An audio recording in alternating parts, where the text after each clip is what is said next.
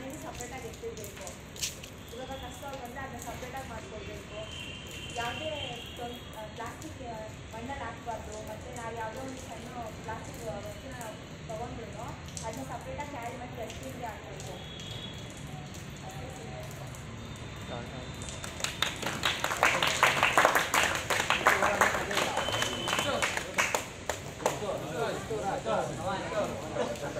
ಬೇಗ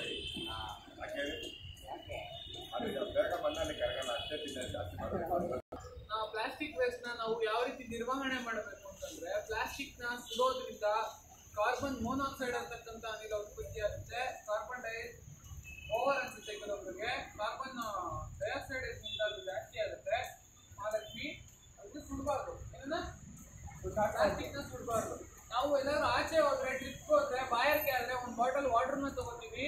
ಕುಡ್ದಿದ ತಕ್ಷಣ ಅಲ್ಲಿ ಹಿಂಗೆ ಬಿಡ್ತೀವಿ ಬಟ್ ಇಲ್ಲಿ ಕೊಟ್ಟಿರ್ತಾರೆ ಏನಂತ you can't use one news ಅಂತ. ಇದನ್ನ ಒಂದ್ಸತಿ ಉಪಯೋಗಿಸಿದ ಮೇಲೆ ಮತ್ತೆ ಉಪಯೋಗಿಸಬಾರ್ದು.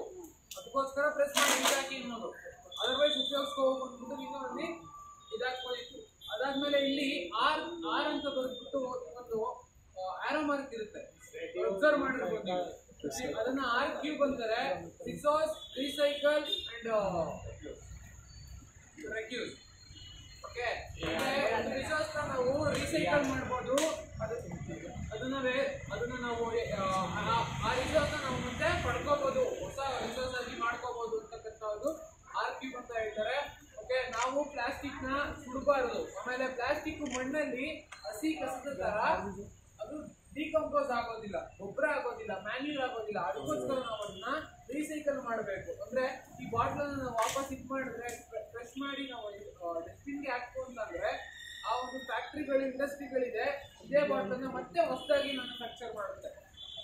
ನಾವು ಎಸಿಬಾರ್ದು, ಒಂದು ಬಾಟಲ್ನ ಪ್ಲಾಸ್ಟಿಕ್ನ ಮೇನ್ ಆಗಿ ಸುಡಬಾರ್ದು, ಮಣ್ಣಲ್ಲಿ ಎಸಿಬಾರ್ದು, ಆಚೆ ಈಚೆ ಎಸಿಬಾರ್ದು. ಪ್ಲಾಸ್ಟಿಕ್ನ ಸಪ್ರೇಟ್ ಕಸ ಆಗಿ ನಾವು ನಿರ್ವಹಣೆ ಮಾಡಬೇಕು. Need to manage the plastic waste management okay ಆಯ್ತಾ ಪ್ಲಾಸ್ಟಿಕ್ನ ಅಲ್ಲಿ ಎಸಿ ಮಾಡಿ ಡಸ್ಟ್ಬಿನ್ಗೆ ಹಾಕಿ, ಅದಕ್ಕೆ ಅಂತ ಒಂದು ಸಪ್ರೇಟ್ ಡಸ್ಟ್ಬಿನ್ ಇಡಿ, ಅದನ್ನು ಸಪ್ರೇಟಾಗಿ ಆಗಿ ಲೆವೆಲ್ ಮಾಡಿ